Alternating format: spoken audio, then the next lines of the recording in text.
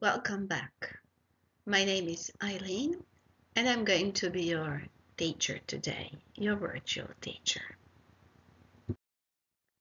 Our topic is traveling to future. Today you are going to watch some video about the future. You're going to analyze the development of the technologies in the future you're going to talk about schools in the future and in the end write a composition. For the lesson today you need a pen or a pencil, a notebook, internet access and uh, you can stop the recording anytime you like. So let's start. Let's jump now into our DeLorean and take a ride to 2200. That's almost 200 years from now. What do you think our life will be like in 2200? Where will we be living? What will we look like?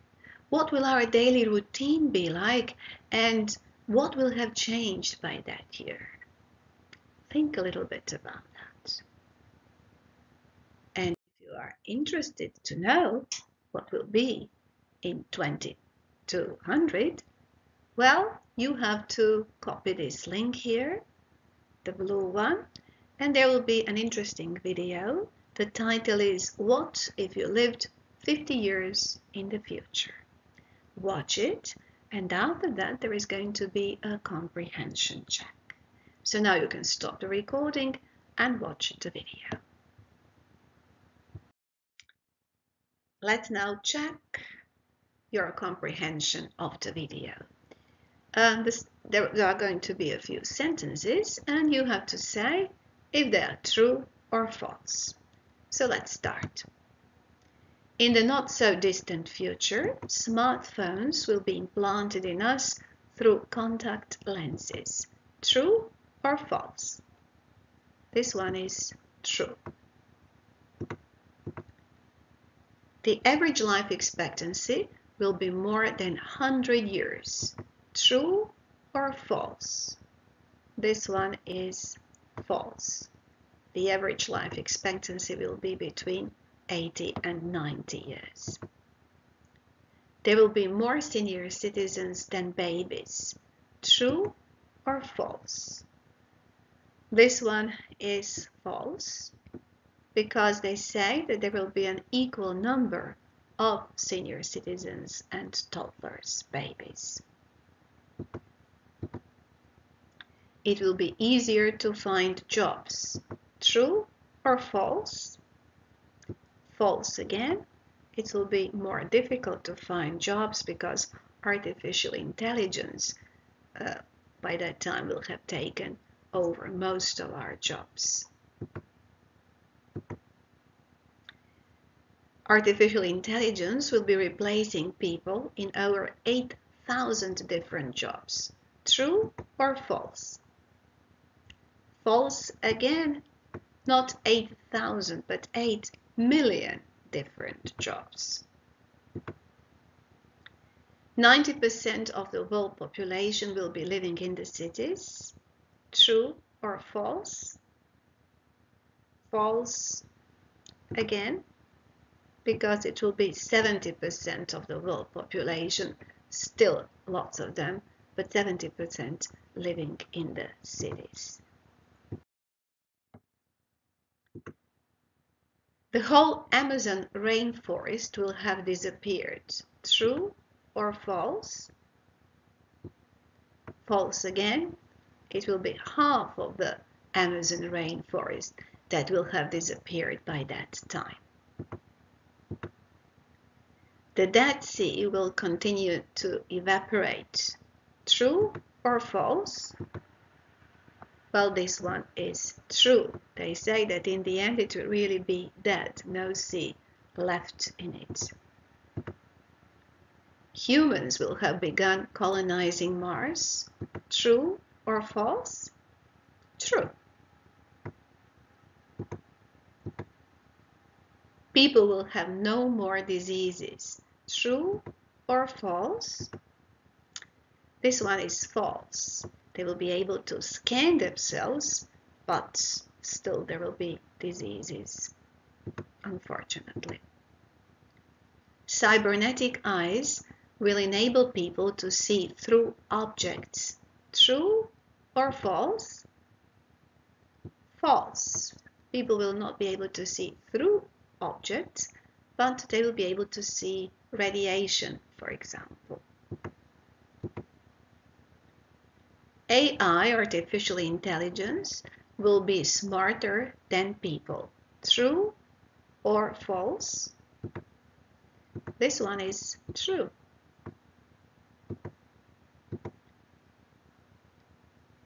And we have come to the end of this comprehension test. Let's look at the following sentences. Artificial intelligence will be replacing people in over 8 million different jobs.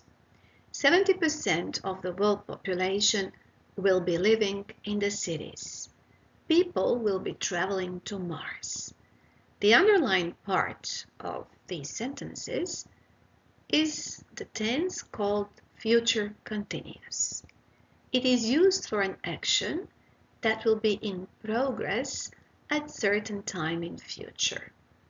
It is often used with time expressions such as this time or in 50, 100, 1000 years time. Half of the Amazon rainforest will have disappeared. Humans will have begun colonizing Mars by 2070. Lots of things will have changed by 2200 those three sentences and their underlined parts show the tense future perfect. As you can see here, this, these actions will be finished by certain time in future. They often come with such a time expression, such a time expression like here you have by 2070, by 2200, and in the text it was also the text was uh, uh, by 2070 so that action will be completed by that time. Lots of things will have changed by 2200 that means that the change will be over by that time. It still hasn't happened so it's a future tense but it will be finished by that time. So it's a combination future perfect Here you can see how it is formed. Future continuous is formed with the auxiliary verb will, be, and present participle, that is verb plus ing ending. And future perfect is formed with will, have, plus past participle. It is always will and always have. The examples are, like in the sentences before, in 2200 people will be traveling to Mars, future continuous, and by 2200 artificial intelligence will have taken all, over all our jobs. Will plus have plus past participle. So let's summarize. Future continuous is used for an action that will be in progress at a specific time in future. In 2200 people will be traveling that will be in progress. And future perfect is used for an action that will be completed before a specific time in the future. Let's now practice future continuous and future perfect.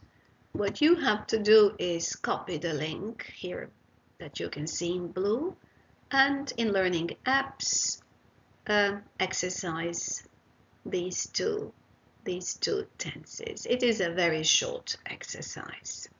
You can now stop the recording. We have seen what the world may look like in 2200, but what will our schools look like? Will they be better, more humane, or not so good? Here is a video. The title is What Schools of the Future Could Be Like. Copy this link and watch it. Pay attention. Uh, after that, we are going to analyze it. Now you can stop the recording. In the video that we have just watched, there were some technological advances that they predict might take place in some 50 years' time in our schools. The first one was digitally personalized desks. That means that children, students will have desks uh, where they will have real-time data. They will be able to communicate live with their peers from all around the world. Smart drugs. We have seen that students will be given vitamins and they will enhance their memory. Robot teachers. It is not something that will happen in a very distant future. Um, that's already happening right now in Japan and South Korea, where they have a lack of teachers. So realistic looking robotic instructors uh, already replacing teachers in some parts of the world. Classroom layout will also have changed. Students will not be sitting in their classrooms, but they'll be going around the school building. It will be more informal. Cognitive hard drives means that uh, hard drives will be attached to the brain of the students and information will be downloaded directly into their memory. That is fun. Blended learning is also something that we are experiencing right now. It means that children, students will still continue to go to school, but at the same time, they will have online instructions. As I said, that's what's happening already. Haptic technology. Uh, it is the technology that digitally recreates the sense of touch. It is hands-on practical learning. It replicates the feeling of real work. So, which technological advances do you find most attractive of those that we have just numbered? Think for a while what future schools should look like. Which advances would you accept from those that we have just mentioned? Which should be avoided? Think of the benefits and shortcomings of these new technologies and record your thoughts and send them to your teacher. You can use different tools to do that. And um, your recordings should not be too long, up to one minute long. You can stop the recording now, this recording now, and do this task. This is Elena and Elena is going to tell us what future has in store for us. Let's give her a listen. In the foreseeable and not so distant future, there are many technological advances waiting for us to be discovered. Designer babies may become the wave of the future, Immortality may become a normal thing. Robots may replace our teachers in schools. Or we may perish in wars. Our planet may become inhospitable. Whether our days are numbered or the future looks bright, we have to do our best. We have to keep taking care of our planet, like there is no tomorrow. We have no time to lose. We have to act now, or we would be sorry until the end of time. In Lena's speech, there were some idioms related to future. Let's see what they mean. In the foreseeable future means in the near future. Pretty much similar to that is the idiom in the not so distant future, meaning fairly soon. The wave of the future is something that will become increasingly popular in the future, increasingly fashionable our days are numbered means you don't have long left to live.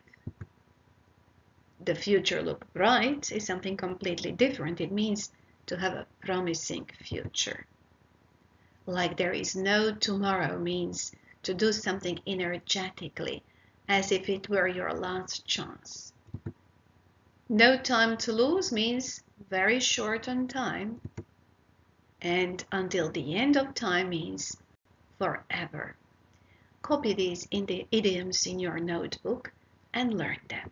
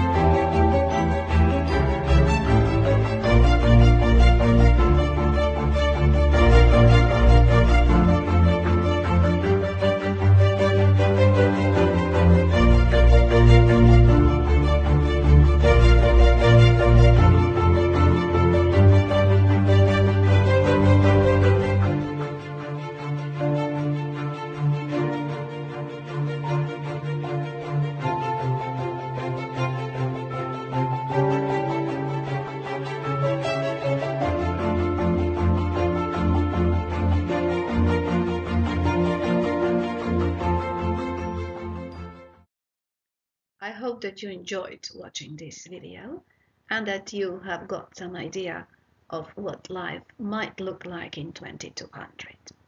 What you should do now is write a short composition, some 120 words, about the life in 2200 the way you see it.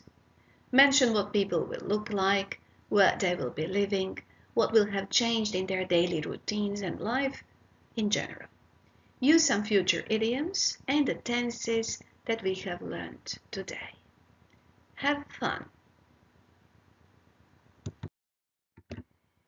And we have almost come to the end. Um, if you have completed all the tasks you were supposed to today, if you have talked about the benefits and shortcomings of schools in the future, if you have practiced future continuous and future perfect and written your homework, then you should tick the smiling smiley like this. If you haven't done some of these parts, then you should do them again. I hope that you enjoyed thinking about what future might look like in some 200 years time. Thank you for watching and goodbye.